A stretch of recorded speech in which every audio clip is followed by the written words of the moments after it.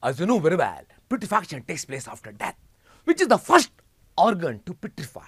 The first organ to putrefy in our body is the larynx and trachea. Now the question is, which is the last organ to putrefy? Remember, in our body, the strongest or hardest organ is the tooth, the dentin. So last organ to putrefy is the tooth or teeth. At the same time, other than the teeth, the strongest organ in our body is the bone. So second last organ to putrefy in our body is the bone.